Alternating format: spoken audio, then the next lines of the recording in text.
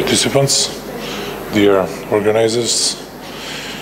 Due to time limit, I prepared a five-minute speech, and I'm going to read it in the interest of time. Otherwise, I can hold you here till 8 o'clock this evening, which is not recommendable, I believe so.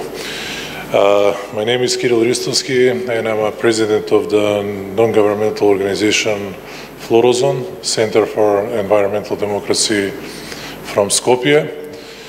And uh, our organization is established in 2005, and we mainly working on, on the issue of environment and environmental protection. And among other things, we are working on promotion of uh, human health rights and uh, promotion of sustainable uh, economy. Today we, we had an opportunity to see uh, our two products from the project Healthy Environment for Healthy Employees. And uh, this project have a general aim to promote the need for improvement of the national OSH legislation through application of the investigative journalism based on partnership and cooperation among the CSOs, media and relevant institutions in the Republic of Macedonia. With this regard, the project will address the necessity for adoption of specific OSH, OSH measures targeting employees in the construction sector and other outdoor workers. Furthermore, the action will offer a set of recommendations to the institutions in charge in order to enable appropriate protection mechanism for the project target groups.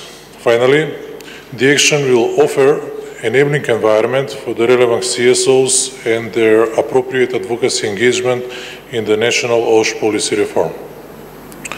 This action will direct all its attention to address in the best way the needs and constraints in the existing le legislation and to offer a set of OSH recommendations to be considered.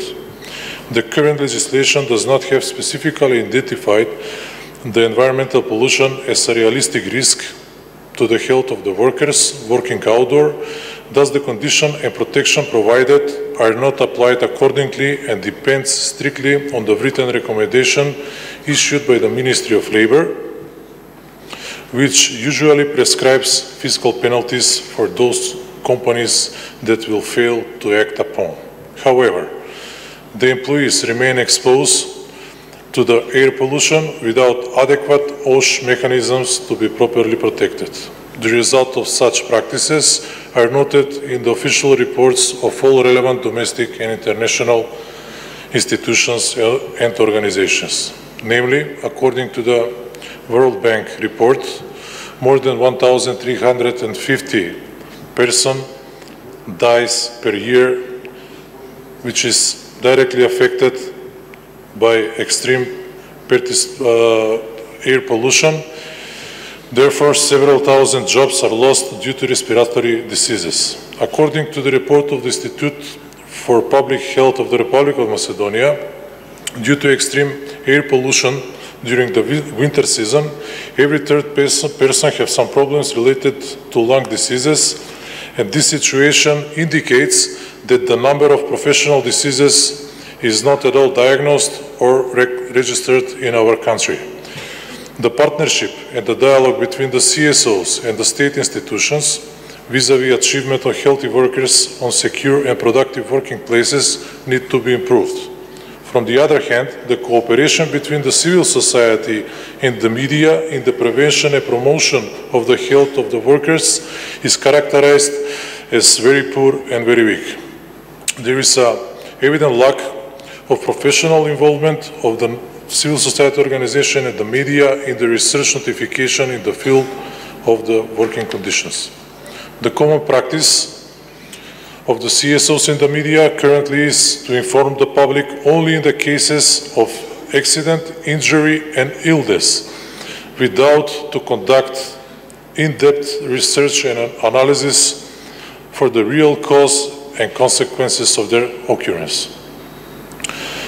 As an environmental protection organization, CED Florozon continuously monitors the effects on the beneficiaries, caused by current policies and legislation on national and local level and the possible adverse effects stemming from poorly drafted and partially implemented policy, taking, taking into account that they are the first and likely to be the most affected one.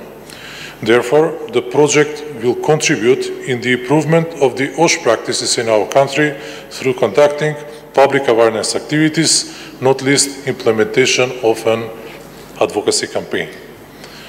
With this regard, our project developed two investigative stories related to professional illness caused by extreme air pollution and exposure on the extreme sun heat and we prepare one documentary which will address the evident need for improvement of current national OSH policy. Last but not least, for the advocacy campaign purposes, the project will develop a policy paper which will recommend a set of applicable OSH measures in line with the EU OSH practices. This document will be publicly uh, represented uh, during the next month, month when uh, we will organize a public debate about the recommendations. Finally, after the, its cessation, we expect that the project will establish and enhance the cooperation between the NGOs and the media in creation of common approach for promoting safe, healthy and productive workplaces in Macedonia.